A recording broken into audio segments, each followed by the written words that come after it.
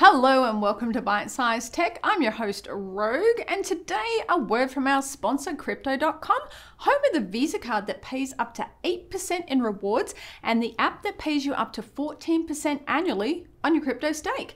Join more than 10 million users on the world's fastest growing crypto app as you trade with confidence on the world's fastest and most secure crypto exchange. Tech has more information and a special sign up offer at the end of this video. Johnny number five comes in with an awesome question about CPU upgrades. And it is, he's running the 9900K with a 3080 and at 1440p, but he feels like his CPU is holding back that 3080 and he wants to know when is the uh, motherboard swap and CPU upgrade worth it in our opinion? Well, this is actually a great question, and I suspect way too many people will either roll their eyes or prejudge it, or they will have already gone to the comment section to leave a comment without listening to what I have to say. Oh, you mean without watching the video? No, that never happens. That happens way too often. So don't be that person. I award zero gold stars to anybody who leaves a comment before they watch the video. Now, first of all, let me get a point out right up front. The i9 9900K is an awesome CPU. I have benchmarked it endlessly on our channel. I have tested it with like every graphics card you can imagine. I have an i9 9900K at home. I have a ton of experience with that CPU. And it's interesting you asked the question because about a year ago, I upgraded from its predecessor, the i7 8700K. Now, for those of you who maybe have forgotten or weren't paying attention at the time, it happens, I understand. The i7 8700K was, at the time, the top end consumer chip from Intel, 6 core, 12 thread, roughly equivalent to a Ryzen 5 3600X, if it's not overclocked and a little bit better if it is. 4.3 gigahertz all core, but it would run at 5 gigahertz if you wanted it to, with sufficient cooling. The i9 9900K is an 8-core 16-thread chip with a 4.7 gigahertz out-of-the-box all-core turbo. MCE easily does 5 gigahertz with a reasonably decent cooler. The current debate among gamers that I see is 6 cores or 8 cores. 12 or 16 seems to be relegated mostly to content creators, heavy multitaskers, live streamers who want to use one computer and whatnot most people online go to Reddit, go to Twitter, go to Discords. They all seem to think, well, do you get a six core or do you get an eight core? Most people agree that four cores are now relegated to basic entry level stuff for older machines.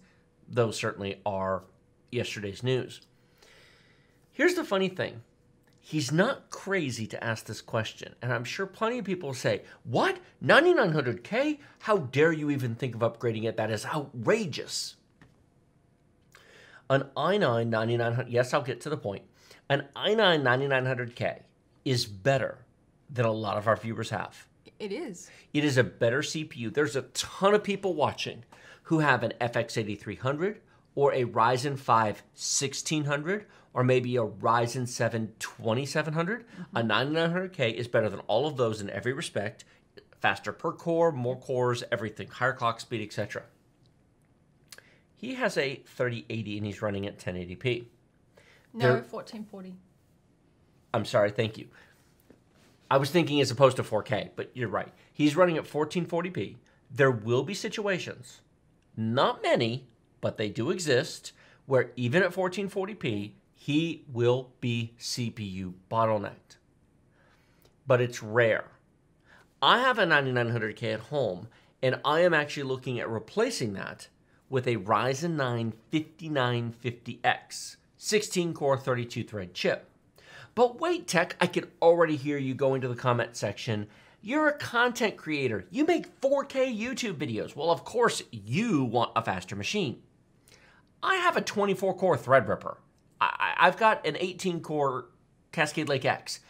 My work machines are high end desktop professional machines with all very nice stuff in them 128 gigs of RAM in the works. This is my personal gaming machine at home. I don't make videos on it. I find eight cores is very much starting to become a limitation.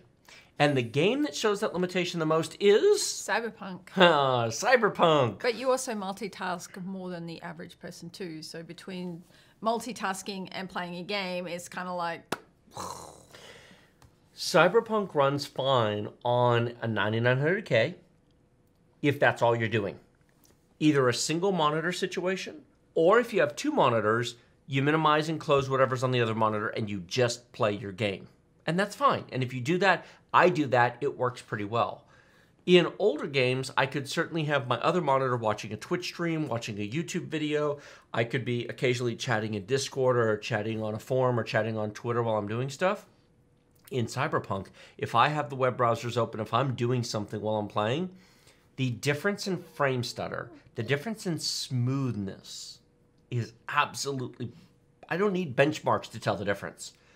It is very clear that the CPU is tasked to capacity. Now, I also have other things running on my machine because I have backups and syncs and I have a lot of files and a lot of storage and whatnot. And it's it definitely is, shall we say, an above average tasked machine. It is not my work machine. no. So his question is, what is next I'm getting there. This is the, the, the tech version of the answer. It's the long version. It is the long version. Grab a drink, grab a snack, and let's get into it. So, most people watching me right now, if you have an i9 9900K and an RTX 3080, I would not advise you upgrade. It is a great CPU, it's a great GPU. You already have it, it's already working, enjoy it. You do not want to touch it until Alder Lake comes out this fall on LGA 1700. We're about to get a whole new socket with a new chipset, a new everything with Big Little, and Intel will be going to 16 cores and 24 threads on the desktop. And then early next year in 2022, Zen 5 is launching 5 nanometer new socket with the Zen. Uh, did I say Zen 5? AM5 AM5. with Zen 4. Zen 4. My apologies. There's so many numbers and it's if if I if my brain can get tangled thinking okay, AM5, Zen 4, DDR5, PCI, Express 4. 4. How does the average person who doesn't do this for a living keep any of that straight? and then there's going to be DDR4 and DDR5 in there as well. Alder Lake is going to support both. Oh, and Alder Lake on the Intel side will support PCI Express Gen 5, but not for the M.2 slots. So yeah, um, it, it's going to be interesting, folks. I would keep a 9900K for another year or two. It really is fine. The only people who should actually consider replacing it right now. Now, he did not give us enough information for me to give every pot. But I'll say this: if you are a Twitch live streamer and you are streaming on the same PC you're gaming on, and you have two monitors, and you have OBS up, and you have your chat window up, and you have your other various programs you use while you're streaming, you know what? A Ryzen 9 5950X is not ridiculous if you're playing games like Cyberpunk. Now, if you're Twitch streaming and you're playing Overwatch or Siege, 9900K is perfect because they're less demanding. They're older games. Correct. So it does depend on the games. It depends on your task. Of course, if you're content creating, video editing, etc., yes, an upgrade makes sense. Here's a fun thought. Do you realize the i9 9900K came out three years ago? I, I remember when it came out. 2018. Well, October of 20. It's not quite been three years, but we're close. So when Alder Lake comes out this year with 16 cores, It'll be three years. it'll be three years from Intel's first eight core chip. We had almost 10 years of four core chips from Intel. Four core, four core, four and core. Literally we- four cores and now we did three years for eight cores to 16. to 16. Intel's first consumer level eight core chip was three but years it's not ago. really 16. It's really still eight. You know what? It's still eight. But next year, third quarter 2022, 24 cores on Raptor Lake. Yes. There's a reason why there's 1700 pins on LGA 1700. They need room for extra stuff. Correct. So that's going to be interesting. Versus AMD's 32. We'll see. Yes. We'll see. Maybe. Who knows? I think they'll do 24 out the gate and then leapfrog to th- they want they'll want to leave themselves something to go to Exactly. I could be wrong. We'll see. Hopefully that helps you. It requires that much explanation because the answer is always it depends. It does. Most people shouldn't replace it.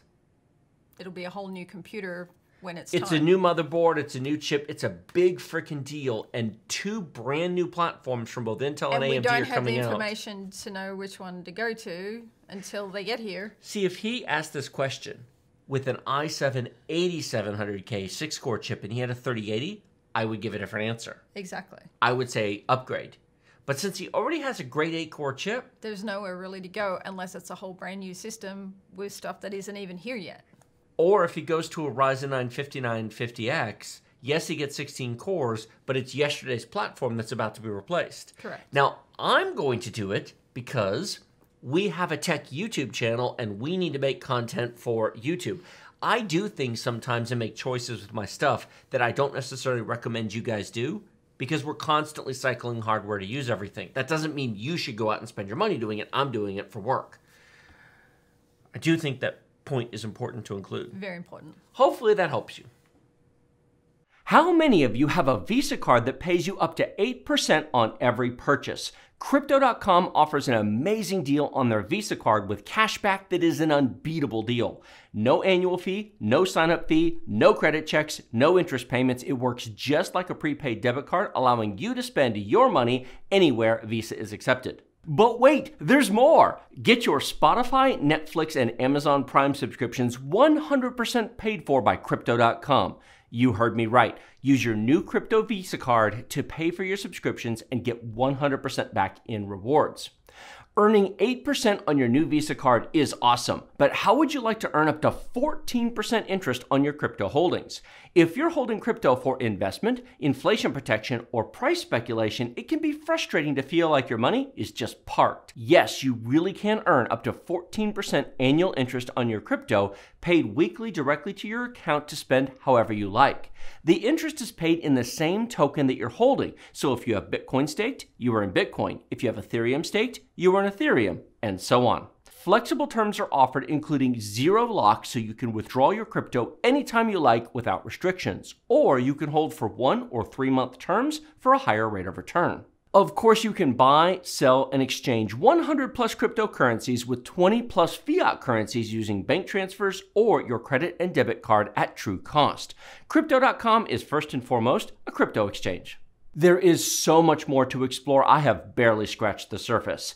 DeFi features, including a private wallet with full control of your private keys, margin and derivatives trading options for advanced traders, crypto credit allows you to borrow against your holdings with no deadlines or credit checks, crypto NFTs allows you to explore the new world of non fungible tokens, crypto pay allows you to pay any merchant with crypto and you earn up to 10% back in rewards, and that's not even everything they have to offer. If you're looking for the place to be in crypto, use our link in the video description below to sign up today. You'll get a $25 crypto sign up bonus and 30 days of 0% transaction fees on credit and debit card purchases of crypto.